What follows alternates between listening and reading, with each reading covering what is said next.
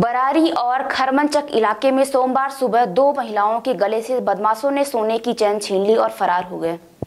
बदमाशों ने डेढ़ घंटे के अंतराल में दोनों घटनाओं को अंजाम दिया। छीन तई की दोनों घटनाएँ कैमरे में कैद हो गई हैं, जिसमें चार बदमाशों का चेहरा स्पष्ट है, फिर भी पुलिस उनकी पहचान नहीं कर पा रही है। विडंबना यह है कि पिछले दो माह में महिलाओं से चैन छीनतई की आठ घटनाएँ हो चुकी हैं। सभी घटनाओं में बदमाशों का फ़ोटो व फुटेज उपलब्ध है। बावजूद, अब तक किसी आरोपितों की पहचान नहीं हो पाई है। ऐसे में बदमाशों ने भी पुलिस को खुली चुनौती दे रखी है कि हमें पकड़ कर दिखाओ।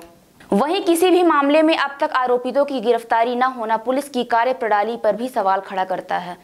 सोशल मीडिया पर भागलपुर पुलिस की खूब हो रही किरकी खरमंचक वाली घटना का footage deputy mayor Rajesh Verma ने अपने सोशल मीडिया अकाउंट पर पोस्ट किया है।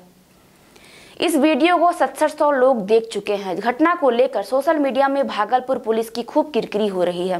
पहली घटना बरारी पुल घाट रोड में रेलवे स्कूल के पास की है। हाउसिंग बोर्ड कॉलोनी निवासी रीना देवी पैदल अपने घर से भाई के घर फेरी रोड दूध लाने जा रही थी। Pul Ghat road railway school के पास बाइक सवार दो बदमाश आए और महिला के गले से डेढ़ भर वज़न का सोने की चैन छीन ली। जब तक महिला शोर मचाने का प्रयास करती, तब तक बदमाश फरार हो चुके थे। घटना के बाद महिला बदहवास हो गई, इस कारण उसके मुँह से आवाज़ भी नहीं निकल रही थी। दोनों बदमाशों का भागते हुए गतिविधि कैमरे में कैद हो गई, जिसमें जिसमें एक ने कंधे पर गमछा रख रखा था, दोनों का चेहरा खुला हुआ है और बाइक से नंबर प्लेट गायब है। घटना की जानकारी पाकर बरारी थानेदार अमित पुलिस बलों के साथ मौके पर पहुँच, जाँच में जुट गए हैं। दूसरी घटना खरमनचक रोड में नागरमल कपड़ा शोरूम के पास सुबह आठ पचास बजे हुई। राजवाटिका विवाह घर सर्व सुविधा युक्त प्राकृतिक सुंदरता से ओत प्रोत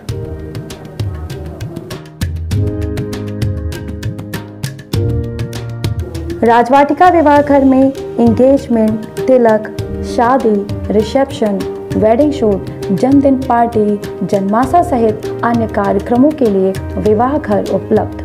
अपने मांगलिक कार्यक्रमों को यादगार बनाएँ शहर के मध्य वातानुकूलित राजवाटिका मैरिज गार्डन के साथ। हमारा पता है, Rajvatika marriage garden, national highway, Jula मोड़, भुंडहा, रीवा। अधिक जानकारी के लिए संपर्क करें nine eight two seven zero zero four two five one.